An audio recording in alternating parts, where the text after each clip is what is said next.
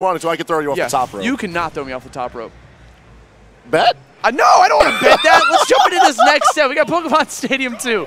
Coming out to bat, we got Rexdawn representing Fox McCloud as Unk 2, representing the original Fire Emblem hero, Marth. Maybe it's Unk Square.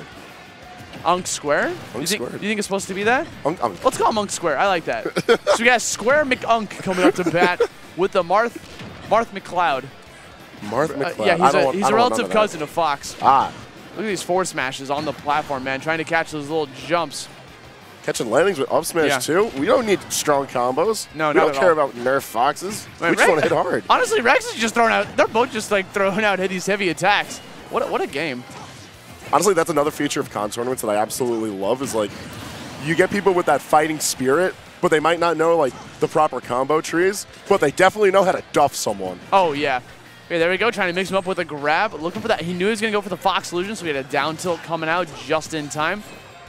Oh, shield breaker always bringing the hype, but Yeah. I don't know if you could just throw it out right in Fox's face. Not I'm- the kind of character. I mean, if they're going to hold shield right in front of you, the thing. So here's the thing, right? Marth's not technically a command grabber, but he has a way to duff shield out, you know? Him Oh, yeah, oh, yeah. Lucina. Sad, uh, Neutral B has the ability. Oh, that dragged him Hold in. Hold on. All right, so cool feature of Jabs in this game for those who are unaware. Jabs have two hitboxes. Mm-hmm. They have a hitbox to drag you in. They have a hitbox to drag you out. It's a mechanic added so that they could, you know, make jabs more consistent, so you don't get people just drifting out of the jabs of like Duck Hunt or Robin. Right. It's Now- not. It's not like Smash Four where they gave their jab to Chrom and Roy to be able to combo off of now. Yeah. So now every character has that little bit of a drag down effect, but something happened in 3.0. Okay. Uh, We're just doing that. Still. flip. I mean, honestly, I mean that's what it goes for. You drop him to the platform, you get a up smash, you kick him to the ceiling, and that's a three stock to one stock lead. Bro, listen, if it works, it's working. And it really is, as Rexdawn's sitting at that three stock count still. And honestly, not even really that threatened by Marth. 107, fairly early considering what Smash's premier swordsman is able to put out. And that's one of the downsides because we actually don't see Marth too often anymore since like the beginning of Ultimate because everyone's just kind of like mutually agreed that Lucina's like the better counterpart because you don't have to rely on spacing that tipper every single time. Yes, it is mad explosive compared to Lucina's like just ba- base sword, but that requires you to be on point at all times. And speaking of on point, Rexdawn just waiting. Honestly, all Rex was doing was punishing. That's Yeah. all. He was just waiting for Unk Square to just go for a swing, either like whether that be a shield breaker, an aerial, what have you. And Rex is just like, okay, land right in front of me and up smash. And all three of his kills, I, I believe, are up smash. I mean, when you go for those flip kicks, you know, you gotta.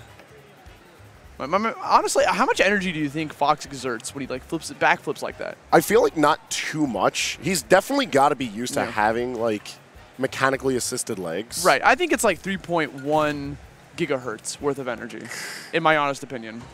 After doing the math in my head, and you know, going to the going I- to the blackboard in the back, you I know, think I think teacher's going to ask you to prove your work on this. I one. I uh, no. What's what's the average strength of a of a Vulpin's hind legs? A fox up smash. Someone hit Wikipedia up real quick. I need to find out. I don't wanna know this. How fast can a fox go? Don't at me. I don't want to know this. We definitely can do the math on this. Uh, let's jump into this game too. We got Rexdawn going with a insane three stock. Come jumping into this next game. Let's see if Unk Squared can try to like take a deep breath, find his inner core, and see what happens. Game two bringing us to Smashville. I think it's a very dangerous but a decent enough pick for Marth. I feel like Marth able to control the space really well. Marth and Lucina do a fantastic job of pushing out from center stage and controlling the ledge. However, I feel like with Fox's speed and Rexdawn's willingness to just control space with Nair, there's not going to be a lot of room to fight. Hold up, Rex just like he used Nair four times in a row. On, this is this is disrespectful. He definitely told Marth to check out the new Yeah. kicks. Now, I want to talk about that forward smash earlier as well. Did you see him like land that forward smash mid-charge because he knew Uncle Square was gonna like swing in front of him? Rex is having fun. He might- be playing with his food a bit. Hey, listen, if there's any time to do it, you might as well do it on stream. There Give everybody a good show. You know, put on a message. I mean, this is round two of winners. That means both these opponents have defeated someone to get here. One of those victories might be a bye, but uh, that's not the point. Uh, saw landing right in front of him. We got that up smash ready to go. Another nair. That's literally all he's doing. He's just throwing out those nairs. And Unksquare doesn't seem to have an Oh, answer. hold on what now. the frick? Yo, the fact that it almost worked, though? the did. fact that it almost worked. It did work, man. All Let's be real. It applied pressure to him. It did some did some very nice damage, and then he got back to the stage. Built the percentage. Yep, that's all you got to do. So, if anything, looking at this particular Fox player is a nice way of boiling down like where Fox sits for his core tools. Mm. Like it's a lot of bait and punish. We see a lot of dash attack, a lot of nair. We're starting to see the up tilts come out, which is a bit more traditional, but a lot of this is just punishing bad landings and then tracing with your aerials. And then if you try to swing silly, you get duffed for it. I just want to see Unk Square to get a stock. I will pop off. If we see Marth get a forward smash, a tipper to forward smash, just take off Rexdawn, he can do it. I believe in him. Not if he keeps on getting caught Never out. mind. okay, good job, Rexdawn. Got a double three stock. Moving on through the bracket. Unk Squared going to be fighting later on down in the lower bracket, losers bracket. But you know what? Unk Squared almost got that stock, you know? Almost. I believed in him. But the second he got thrown airborne by Rexdawn, he had so much trouble going for the landing. And uh, th- these are the nairs I was talking about. Where he was just spamming the nairs, and But hey, it worked. that Again. was sick. I like that because it put him in. See, that's what I'm saying. Like you said, it didn't work. It did work. It put him into a very precarious position to force out that air dodge and get an up smash right afterwards.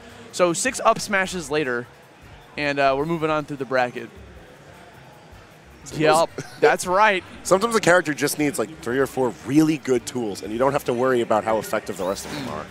Because Well- after that, it's just like bonus material. Up smash, get landing the up smash. Oh my God, they are wrestling. Yes. Look at them go. Can I put the camera on them? They are no, going they're- at they're- They it. stop for a sec. They're just testing the waters. I want to see someone get duffed. If someone doesn't break their neck, I'm not having fun. I need to see someone like get paralyzed at this Yo, event. okay, whoa, whoa. I'm trying to see that underground good good, man. Let's go.